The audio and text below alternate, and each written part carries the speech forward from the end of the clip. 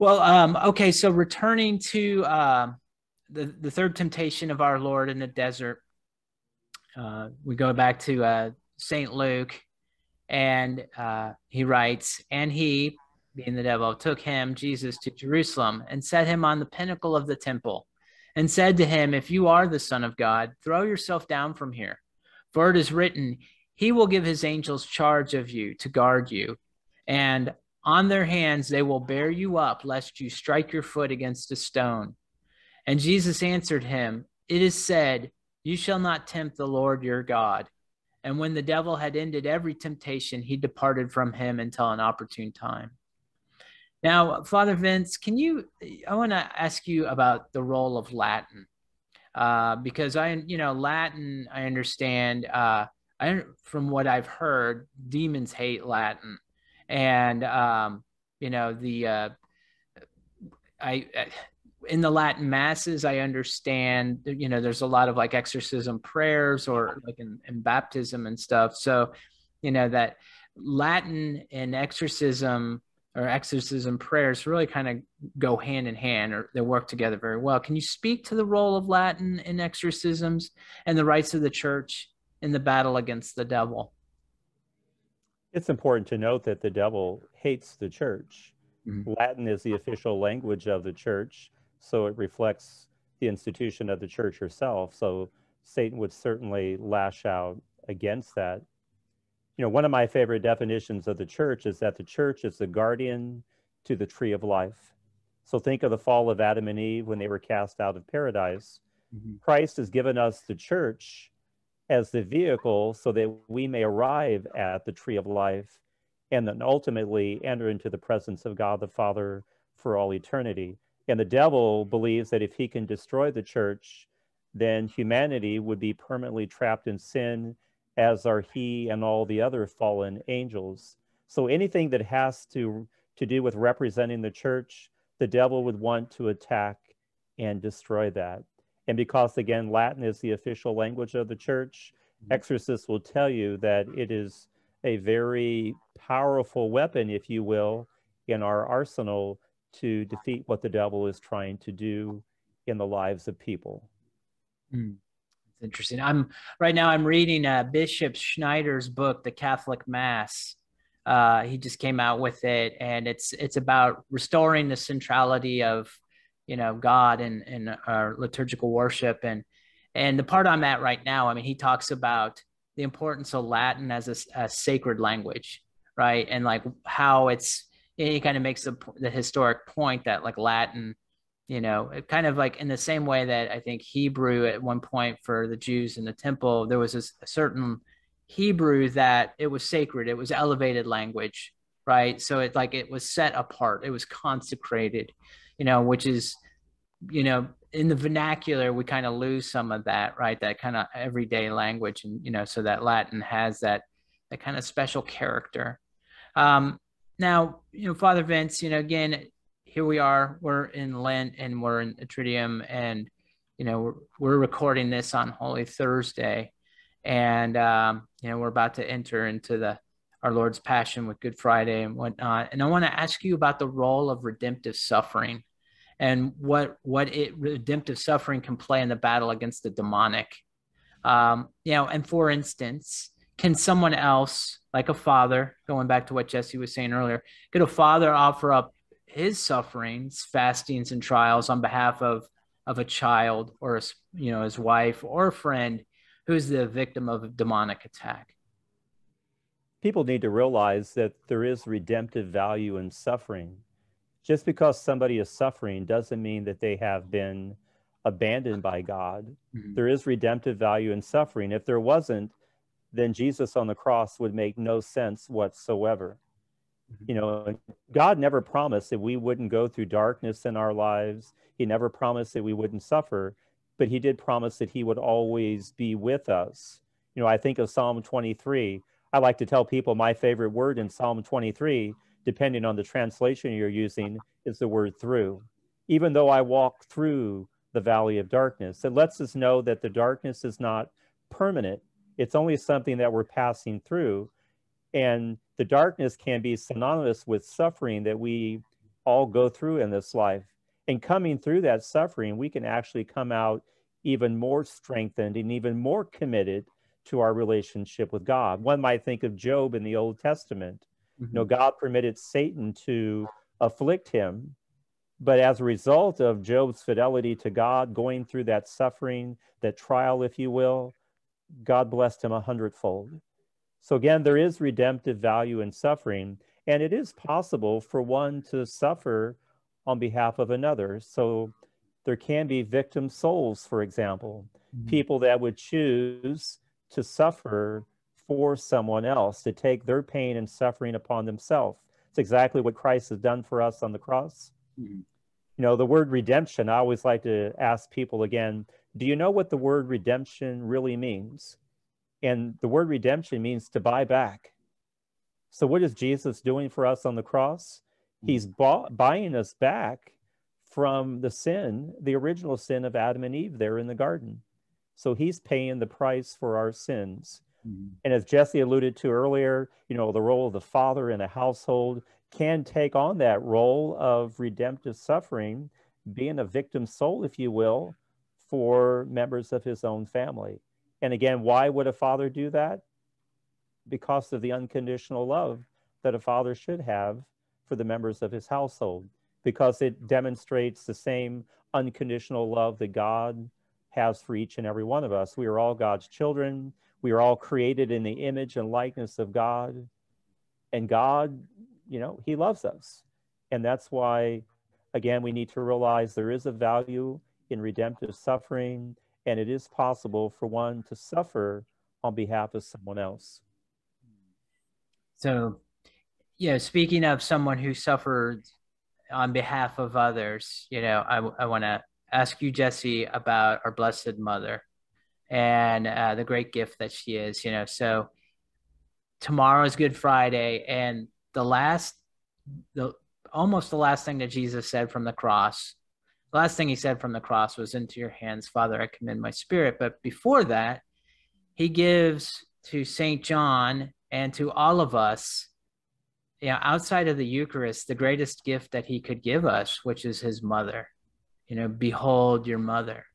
And um, so, Jesse, I want to ask you can you speak to Mary's role as our battlefield commander, as it were, in today's spiritual battle?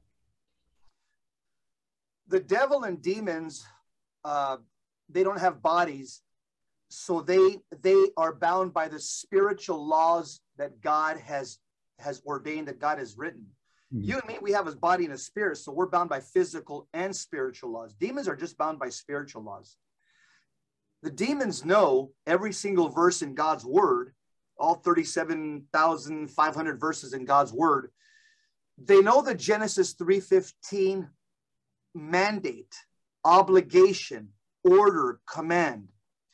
They know that the mother of the Messiah was given by God total coercive power and juridical authority over Satan and every single demon. They're bound by that. It's, it's fixed into their diabolical matrix, and there's nothing they can do about it. This is why people like Cardinal Norberto Rivera, who's a he's retired cardinal in Mexico, but he teaches uh, in the School of Exorcism out in Mexico City. He says the Blessed Virgin Mary is the chief exorcist in the Catholic Church, mm. a chief exorcist, and he says mm-hmm. That when she appears at an exorcism, she doesn't even have to say anything. Cardinal Roberto Rivera, she shows up and demons leave. Again, because they know that, uh, as St. Louis de Montfort says, looking at Jesus Christ, he's the head, where the body of Christ, St. Louis de Montfort says, Our Lady is the neck. She's mm-hmm. the neck of the mystical body. And so the, all the graces that flow from the Godhead, from the Trinity, flow through Mary, the neck, to the mystical body. All the distribution happens through Mary, the mediatrix of all graces. Mm-hmm. And by the same token, when we pray, even Protestants will learn that in the in the next life at their judgment. When we pray, all our prayers rise up like incense to God, but they go to God through the mediatrix, the neck, which is the Blessed Virgin Mary. And again, this is the way the economy of grace flows, and the devil knows this. Mm-hmm. And the devil knows that he's bound, he's bound and he's subject to this queen mother, to this, uh, to this, uh, to the the one that's immaculately conceived and full of grace. Mm-hmm. And it's also humiliating because God the Father has given the mother of the Messiah in Genesis 3:15 the power to crush the devil's head. Why didn't God say, I give you the power to crush his his spine or his tail or, or anything, you know, or the or the last quadrant of his body? Why the head? Because the head is generally by the by the spiritual writers, it's associated as the place of pride. So it's the all humble, all immaculate, full of grace Queen Mother that's given power to crush the head of the devil. And again, this humiliates him. You know why? Because demons understand, mm-hmm. based on Hebrews chapter 1, that on earth, human beings were of a lower nature than they are. Hebrews chapter one mm-hmm. And so, for the devil to wrap his mind around that God who's supernatural has given a human, Mary, she's not a God, mm-hmm. has given a woman, albeit God's masterpiece, has given a woman power and authority over the preternatural world. The pre- angels and demons in this life, they are above humans in terms of their nature, their angelic nature. And so it humbles, it shames the devil that somebody of a lower nature, a human person, has power and coercive authority over the preternatural demons uh, again, this is something that because they're pure pride, they're pure narcissist. This hmm. is something that causes them shame. Yeah, and I and I don't know who said it. Uh, maybe y'all do, but I, I want to say that it's been said uh, that when Satan or Lucifer said, "I will not serve," what he was talking about at that time was, um, and I think it must have been revealed to a mystic or something, but you know, he was saying that he would not serve, like when God revealed his master plan and revealed that, you know, salvation would come through this little teenage Hebrew girl, uh, complete humility, right? Just this uh, living in a backwater town and, you know, all of that, that Satan in his pride said, I will not serve. And it was because he refused to bow down to Mary that led him to to fall. And and then I think St. Louis de Montfort said that in a certain sense, Satan fears Mary even more than God himself. Why? Uh, because, you know, if you measure your own strength against the strength of your enemies, you know, God is, he's all powerful. But Mary, again, is this humble little creature. And for her and her humility and her docility, to master him just is just more than his his pride can can handle you know? So um it just you know it just speaks to like again the wonder of god and giving us what you know such a great gift you know in his blessed mother. Now you know kind of taking this to a time you know in our, our timeliness here uh you know last month pope francis uh consecrated Russia and the Ukraine to the Immaculate Heart of Mary, uh, in keeping with uh, the prophecy at Fatima. And I know there's like there's a lot of discussion about, you know, was it done entirely right or not right? You know, and and I'm not I'm not a Fatima expert, so I'm, I can't really say. But Jesse, uh, for instance, can you explain why it was important from a spiritual warfare perspective to consecrate Russia to the Immaculate Heart of Mary? I'll say three things that uh, that bode well for the consecration. Number one, Pope Francis holds the highest office on planet Earth. When God from heaven looks down on people on planet Earth, his office is higher than a president, prime minister, king. There, there is no higher office in the kingdom of God than the papacy. So, mm-hmm. number one, he, his office just in itself uh, uh, has incredible power to unleash grace and blessings, the office. Number two, right before he did the consecration, he went to confession, mm-hmm. which puts him in a state of grace, which makes your prayer more powerful. James 5 16. The prayer of a righteous man has much power. So we see the power of his office, Matthew 16, 18, the power of the keys at play, mm-hmm. which is powerful in itself. He was in a state of grace. He just went to confession right before he did the consecration. And number three, he did a consecration prayer where he mentioned Russia. I know some people say, well, why did he mention Ukraine? Well, Ukraine was part of Russia yeah. uh, back when the Fatima apparitions were given. Ukraine was part of Russia. Mm-hmm. Well, why did he mention humanity? Well, guess what? He's praying for human beings, not Martians. He's not praying praying for you know, uh, you know, uh, fish in the ocean. He's praying for human beings. So it's like that. That's that's not something to argue about. That he mentioned humanity. Of course, the human beings have a rational soul. God died for humanity, and mm-hmm. so um, all I can, now the only concern of mine is I hope it hasn't been done too late.